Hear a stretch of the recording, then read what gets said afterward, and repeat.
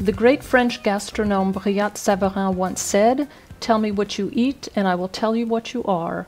I'm Jamie Schler. Welcome to Stir Crazy, where I'll be talking food with the most intriguing people who you least expect to talk about food. Today's guest, once described by the Washington Post as a dazzling virtuoso, was appointed assistant principal cellist of the Louisiana Philharmonic Orchestra in the fall of 2013, and if I've calculated correctly, he was just 24 years old.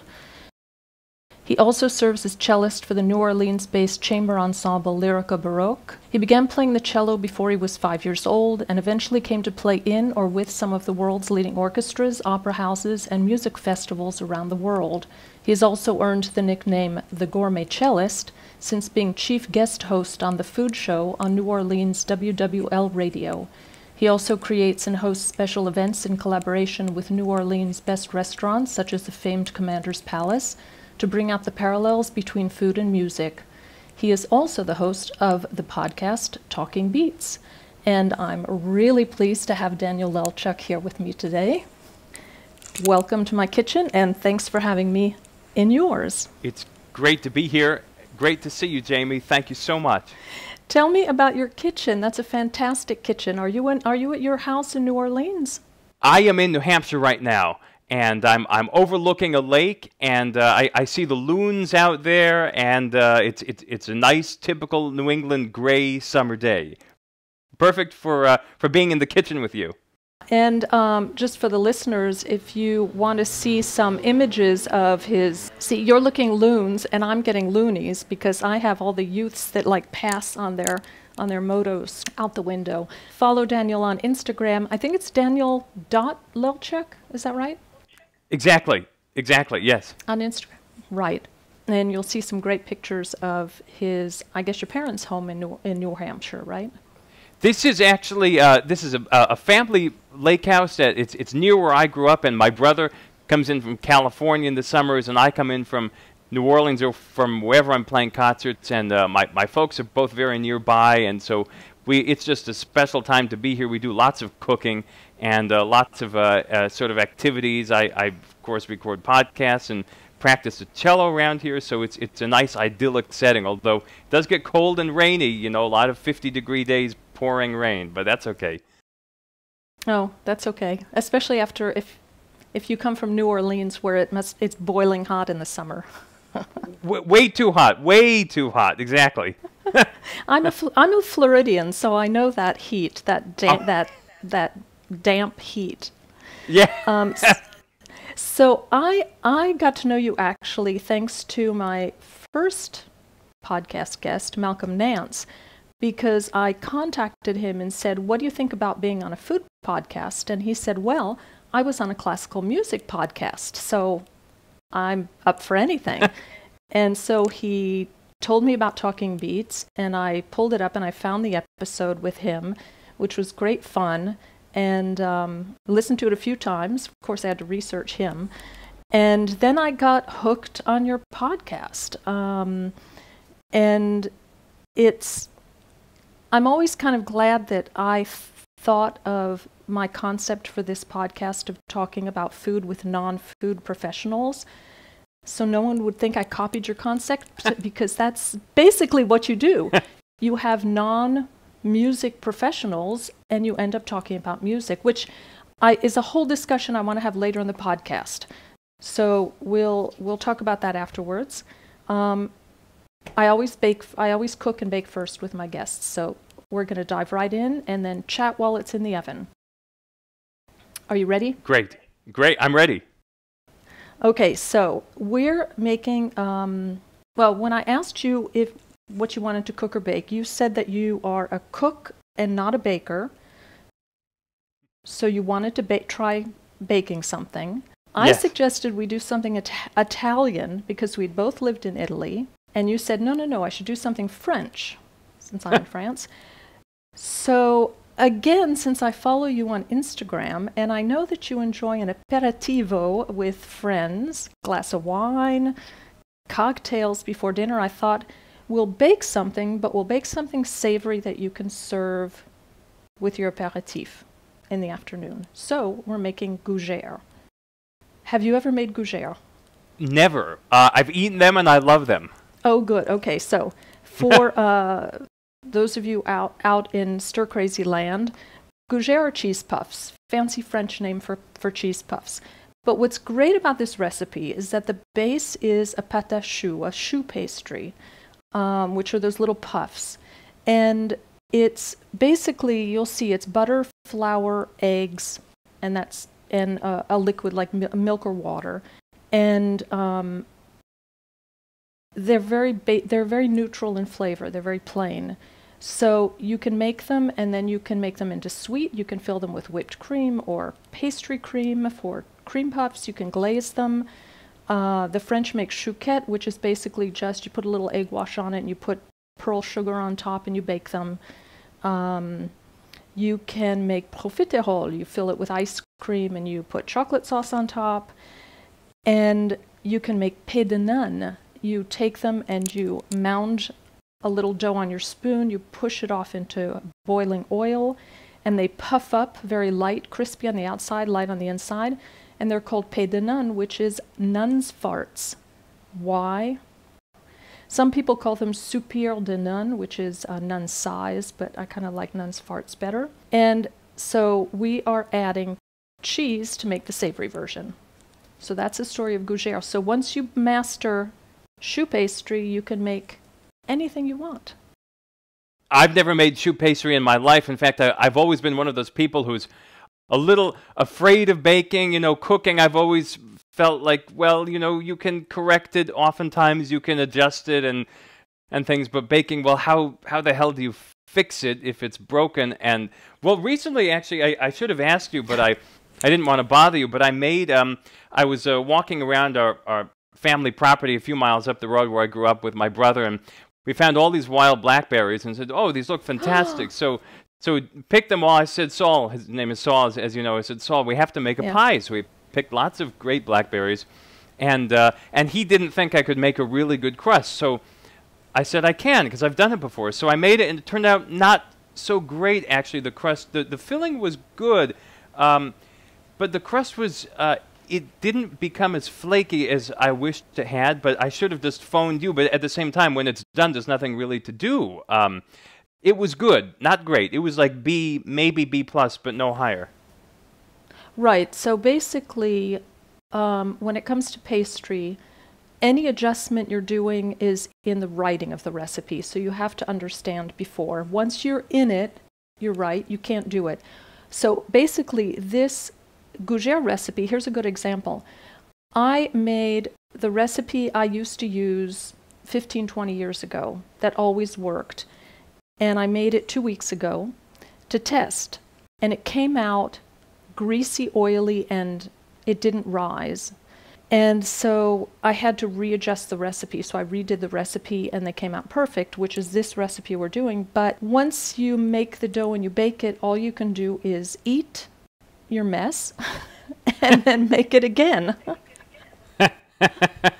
so you end Well- up, you know, you know, just keep eating these kind of, you know, your trial and errors. Uh, try yes, exactly. I'm I, I'm all good with trial and error. It was it, so, but I'm I'm ready to go. And you say this is a perfect gougere recipe, so fingers crossed that it turns out perfectly for me. And for me, and for me, because I, I don't want to, yeah, put my foot in my mouth. Okay, so um, I I'm trying to get my screen so you can see the stove. We'll see that. So I'm using this size pot. Okay. Um, okay, so you have your butter, which is 90 grams. Do you work? Do you work in grams or do you work in? Did you do six tablespoons or 90 grams? I did six tablespoons. Okay. So you're just going to put that in your pan. In fact, I think 90 grams is slightly more than six tablespoons, but that's okay. And I am going to follow my recipe even though I wrote it because I just want to make sure. And my son told me his earbuds that he's lending me cannot fall in the pot. Um, Okay, so I have um, one cup, half a cup water and half a cup milk.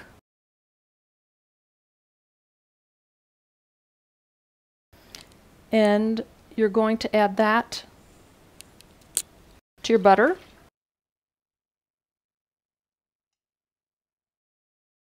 One cup total. Some salt, half a teaspoon.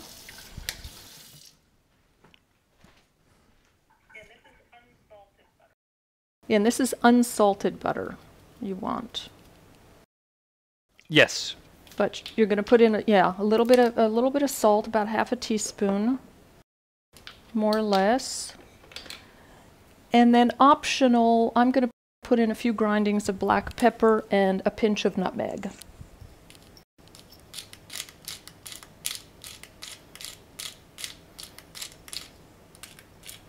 I'm sure one day for one of my podcasts, whatever I make is going to completely collapse. But for now, so far, so good. okay, a little black pepper now. Uh, you said Yep. written here is um, uh, grindings of black pepper. O- okay, well, I'll put that as a, a grinding, and then um, and then Yeah. uh, a little nutmeg. Yes. Yeah, just a, a, a, a small pinch. a couple of small pinches. Do you I have fresh nutmeg here. See, see, Jamie, I have fresh nutmeg ready to grind here. Wow. You know, I've abs- ab- actually have never, ever used fresh nutmeg.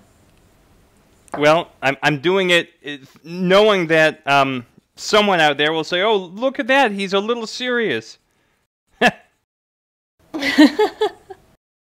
You always have to have something that impresses people. One thing. Okay, that's all in there now. One thing. okay, so butter, water, milk, salt, little pepper, pinch of nutmeg in a saucepan. Okay? Yes. Ovens are preheating. So now you're going to place it over about medium low heat. You want it to heat, you want it to heat until the butter melts, but you don't want to bring it to a boil. So you Okay. want to heat it kind of medium low is okay and just st- you know I just push my butter around the the bottom of the hot pan to to get it going. And I'm using a wooden spoon, like you said. Yeah. I've made these with whisks, and they end up, it just ends up getting stuck in the wick, whisk at some point, so. Wooden spoon is easier. Okay. Okay, the butter's all melted now on, on mine. I hope that doesn't mean it was too high. Already? Ooh. My ooh, butter's melted. I'll turn it down. up. Is your. Okay, just take your pot off the heat. Okay. I mean, just you know, take it take it aside. I'm um. Hold on, I'm trying to get mine to go a little faster. Does your milk look, your milk water your liquid look like it's steamed a little bit? Uh, there's there's no steam. Well, a tiny bit of steam coming out as I stir it, as I look at it, but it, it wasn't bubbling at all. No, no, no. It shouldn't. It shouldn't. The most Yes. it should do is have slightly little bubbles around the side, but mine basically just has a little bit of steam. Okay, we're going. We're going. Come on. It smells good already. I mean, m- melted butter on its own yeah, smells pretty good, right? this is definitely one of. Right. Well, you know, fresh butter is like is like freshly cut eggplant. It has very little. F- s- I I love smelling them because there's a a very subtle but very kind of fresh smell to it. I see. Yeah, yeah. I'm one of those weird people. Well, this that- is all. So yeah. th- this is off the heat now. I'm just stirring it, but it's there's bits of steam coming out. Okay, good. I'm trying to get mine to go a little faster. Okay, because we want to dump in our flour. You have your cup of flour ready, right? Yes, I have I have the flour ready. I have the eggs ready, and Okay, good. I don't know why mine's ta- oh, maybe mine is a heavier. The Le Creuset takes a little bit longer to heat up. that that's right. I'm not using a Le Creuset. I, I should be because you're you're in France and they're and they're so good. But is, is that your go-to? Is that Get your go-to, or, or or do you like Staub uh, or Le Creuset?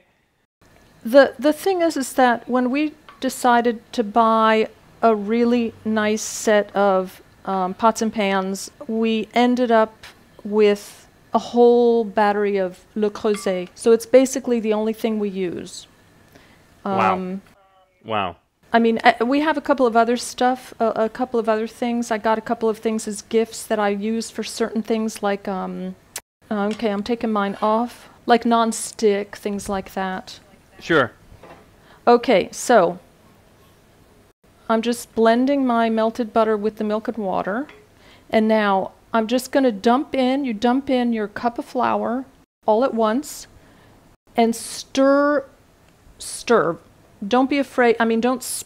Once it's, you don't. You want to be careful that you don't splatter it all over your stovetop, but you want to really just stir it as the flour soaks up the liquid. Just Okay, stir I'm- it really, I'm really kind of vigorously. I'm, I'm stirring pretty splattering. vigorously. Okay, and you're going to see that it forms into a bowl of, it kind of gathers together into a dough, but you want to keep working it, folding it, pressing it. And the heat is off, right? Well, my, the heat, you're going to put it back on the heat. So you Okay. just basically, but, but it's okay, you can turn it back on. So just keep working it until there's no more, f- you see no more little bits of flour and it's smooth. I'm going to show you what mine, I'm going to try and show you what mine looks like. Okay, so this is what mine looks like. Whoops. Mine ends up, looks kind of Okay. if you can see, it looks smooth now. It's smooth. I see no more bits of flour, and there's nothing at all stuck. It lifts completely off the bottom of the pan. Mine is not there yet. Mine is mine is still um, okay? liquidy, like a, a very very thick bechamel is what mine is like right now. Ooh, maybe you didn't add enough flour? Because very, very quickly it should form into a dough. It's not formed into a dough yet, but it's it's it's thickening. I I, I put in a cup of flour. Mm-hmm.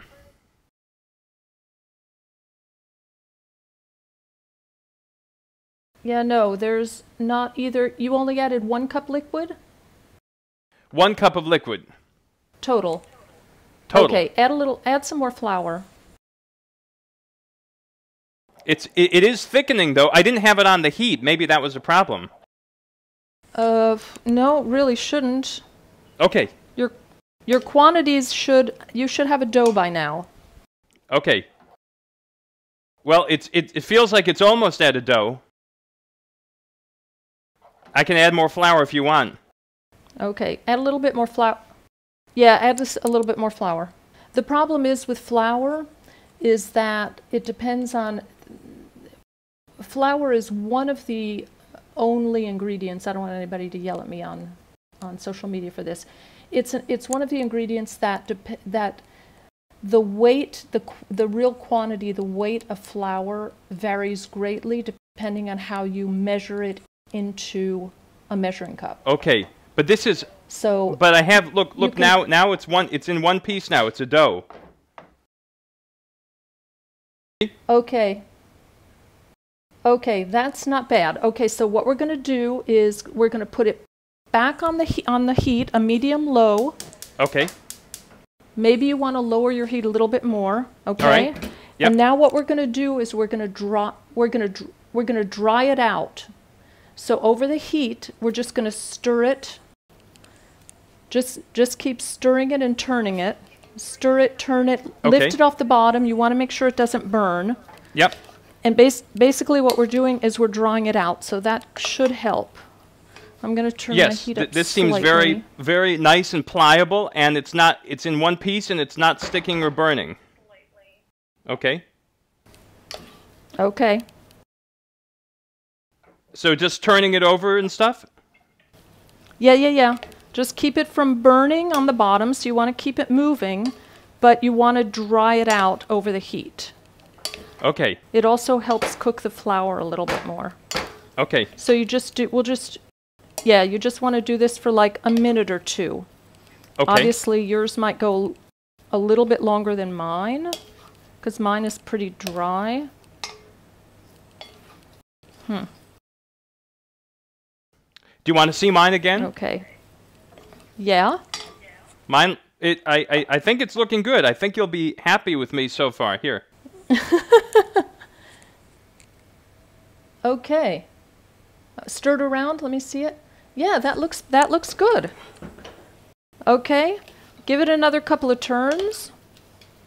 And then you can turn then you can turn it uh you can remove it from the heat. You can turn off your heat. Okay.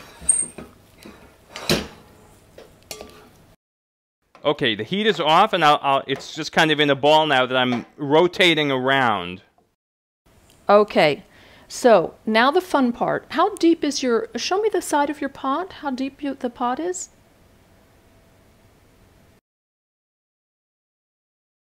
Oh, okay. Okay, so now with our wooden spoon, we're going to stir in eggs. You have four eggs. We're going to stir them in one at a time. And you're going to discover that when you break an egg into it and you start to stir, it's going to be a, it's going to be slimy. Just keep stirring and you're going to notice that the slimy egg is little by little going to it's going to beat into the it's going to be incorporated into the dough. Okay. As soon as you break your egg and Should I do start it now? stirring it because you don't want your egg to cook. Yeah, yeah, yeah. Just kind of with, you know, with the back of your wooden spoon and stir it. And just keep work, w- kind of work your egg into the dough. Okay. And, and you're going to see it's going to be slimy and then it's going to start incorporating into the dough. Yes, Okay, I see that. This is this is very cool. I've never done anything like this. Okay, that's why you're on my show. And it gets it ge- goes from slimy to silky. Should I do the next one? Do the next one. As soon as the first is incorporated, do the next. And four times. Break your yolk. It's hard because the egg is so eggy. it's so slimy. It really is, yeah. But it's it's yeah, it gets in. Just make sure you get all your dough scraped from the corners of the pot. It feels pretty sticky. Is that okay? A little stick, a little. Um, I guess it's just getting heavier with the weight of the egg, maybe. Yeah. Yeah, but don't forget your your kind of lift and turn, lift and turn. You want to try and keep the um, it aerated as well. Okay. You don't want to make it, you know. Don't forget you're incorporating eggs, which are going to give it the the lightness. Okay. Yes, okay, yes, I'm I- adding my third. I'm adding my Okay. third.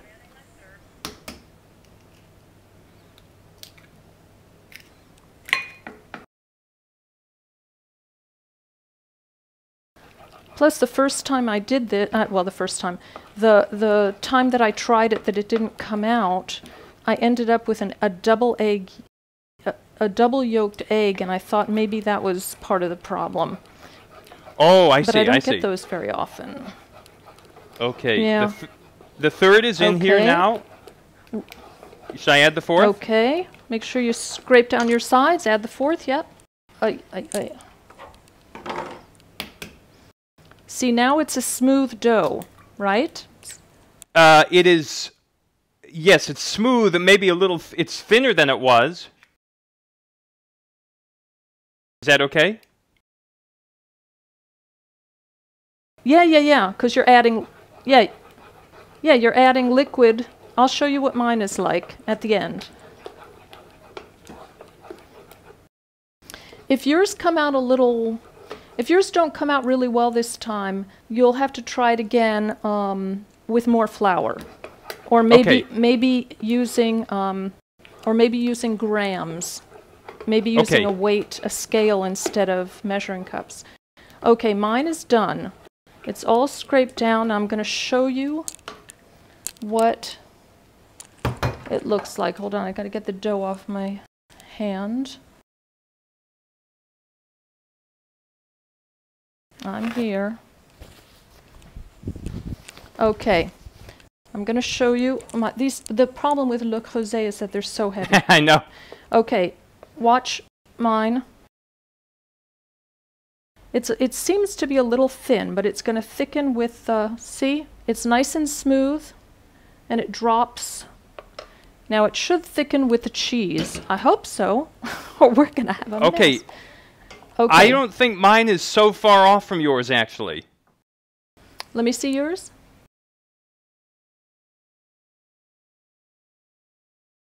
Not too bad. Okay, scrape down everything on your sides Yep. so it's all together smooth. Now we're going to add the cheese. Um, Okay. Okay, what I did was I have half freshly grated Parmesan and I have half um, packaged grated Comté, which is like a Gruyere. It's like a hard cheese. Okay. Um, I use I half have and all- half I have because all- I like the different flavors. And when I made when I made my cup, I didn't. I, I think I might have told you not to pack it. You Yes. just want to lightly mound This is my. cheese. Perf- perfect. Okay. Now, okay, that's perfect. What are you using? This What is all cheese? All Parmesan. Yeah, two, but to your age, it's really good Parmesan. Oh, good. Okay, so we're gonna dump it all in and stir it all up. Okay. Here we go. Yeah. The cheese. The cheese is in. Now I'm stirring it. Wow, it smells delicious already. Yep. And it should thicken. I hope it thickens. I Yep, shouldn't have said anything about. I should not have said anything about about failing a, a recipe on a podcast because No, my, mine has it would have thickened. changed. Mine looks terrific, actually. I, I could eat it like this with a spoon. Mine is mine is not going to mound the way it's supposed to. I don't know why. Um, we're going to try it anyway. Yeah, I noticed you saw. I, I put in my Instagram stories a picture of the ones I made two days ago, and I know Yes. you saw it. Right. Yes. That's the way they're supposed to come out, big and huge. For some Okay. reason, I feel like I feel like my batter's not thick enough. But we're gonna try Do you wanna a see mine? Th- this this is mine. That's not bad. Not bad. Mine's a little Mine's a little runnier than that. I don't know why. I don't want to add more flour. I'm going to make one batch and see how they work. Now I'm going to check my oven and I'm right. Okay, so basically what you want to do now, let me move this so you can see. Um, I don't know how I'm going to do this. Let me try one because they don't seem. Yeah, mine is much too runny. But I'm not going to try and add more flour now. So basically, you want to take not a full tablespoon, but you want to take. You want to make a, a mound like an inch, okay. an inch mound. Okay? Separate them because they'll rise and spread.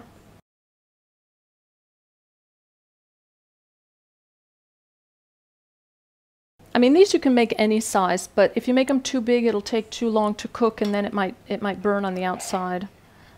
So is is this Yeah, the right amount for one? Would you say? Um, yeah, put push it onto your baking sheet and let me see. Mine are kind of spreading all over, so I might add more flour before I do a second batch. Are yours spreading or are they staying? They're staying. They're staying sort of. I'll, I'll show you. Oh, good. I can't really tell. Okay, well, we're going to try this. Okay, fill up your baking sheet. Put leave a leave a couple an inch or so in between them. Can I see how big yours are? Yep, yeah. I'm going to send you some photos I took two days ago when I made them because they came out perfect. See, mine are spreading. And Oh, they I should see. not Okay. spread. Yeah, they should not spread like this.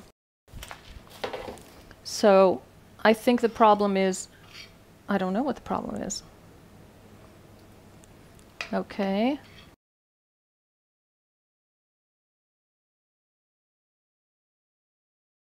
So just keep going. Well, we're going to bake them and see. Exactly. So, how long do these last? Would you say? Are they best eaten day of? They're best, well, they're best eaten warm from the oven. So make them, I'll do one sheet. They, they make about 25 if you do them the right size and they don't run all over your, all over your baking sheet. Um, do them all at once. The, if you have any left over the next day, you'll notice that they're, that they get soft. So you can just pop them in the oven. Um, bake them, just, pre- just preheat your oven the following day to about two, you know, 400 and bake them until they until they dry out and they crisp up again. But Okay. keep, keep yeah, keep an eye on them. Okay, so I'm going to do this. then what we're okay. going to do is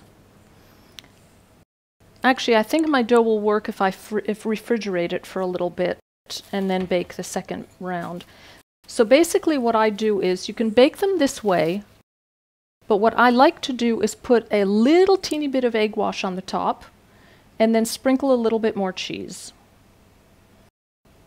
So basically, beat a little egg in a little bowl, an egg in a little bowl. Do you have a pastry brush? Yes, I do. Great.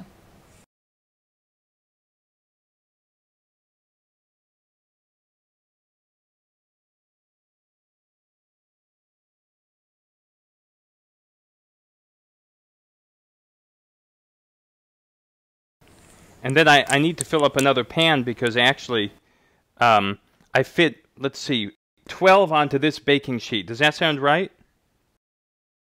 Yeah, And then I um, yeah, I have 11. Yeah. I have another one here, but I'm not. I may have made these a little too large because I'm not sure I have another. Uh, well, I'll see another 11 left in the batter, but Yeah.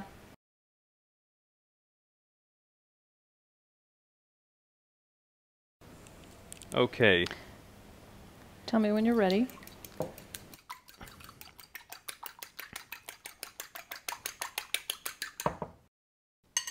There's that. So I'm going to brush them now. Okay, what you're going to do is because the dough is very delicate, you don't want to brush them, you'll just dab it. Okay. You'll dab it with a little egg wash, just a little bit on the top. And then we're just going to dust a little of the extra grated cheese on it. So this will give it a okay. nice, yeah, this will brown it a little bit and give it a little crispy top. But it'll help the cheese stick to it. I hope mine rise. So in Florida, you you have cheese puffs, not gougere, right? In Florida, we have um, fried alligator balls and hush puppies, and we don't have gougere or cheese puffs.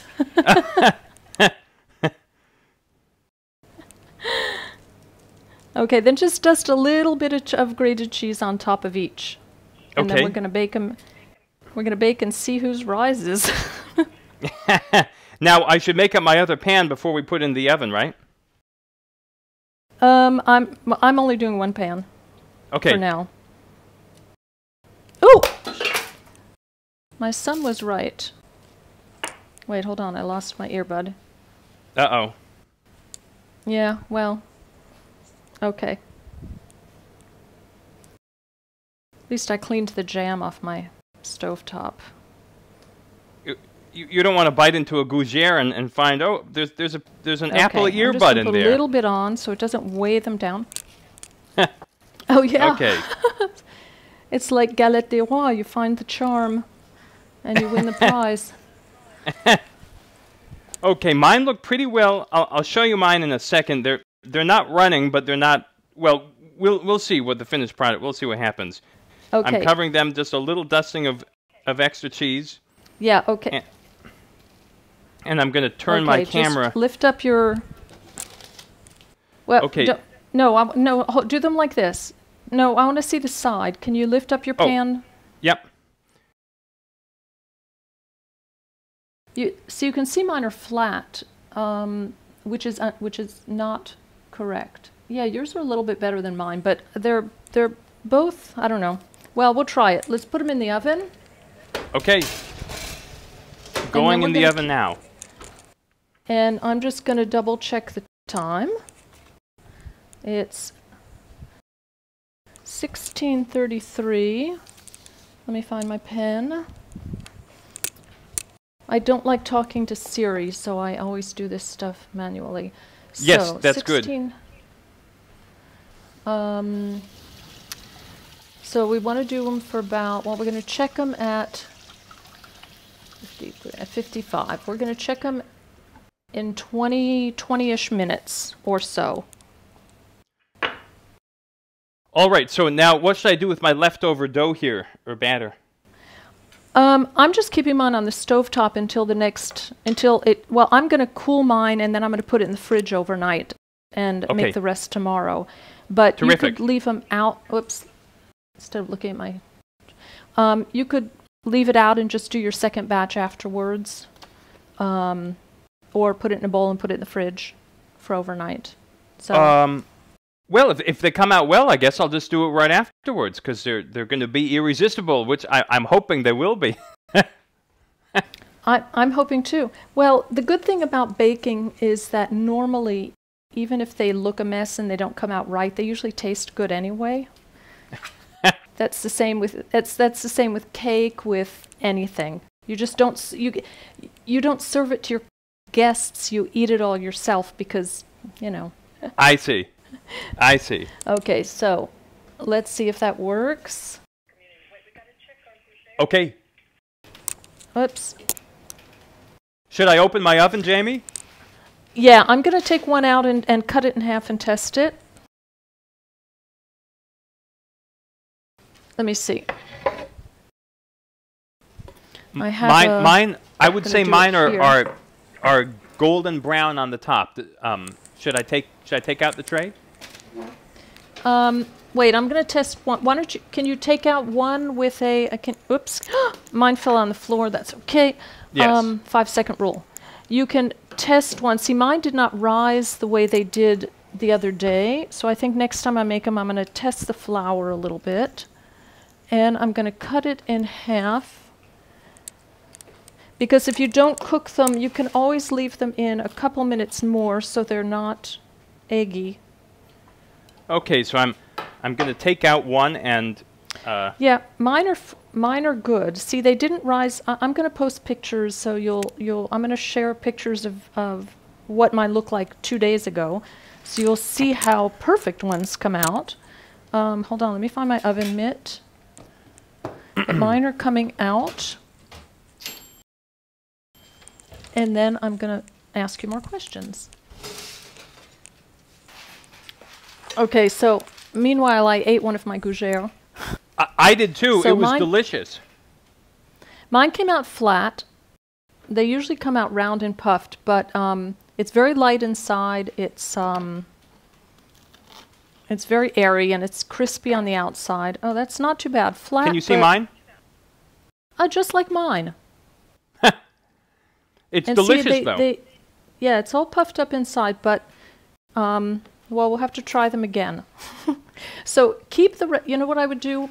Well, you're going to make the rest. The next time you make them, um, if they s- don't seem thick enough, the dough, put them in the fridge for a Okay. little bit and see if it firms up.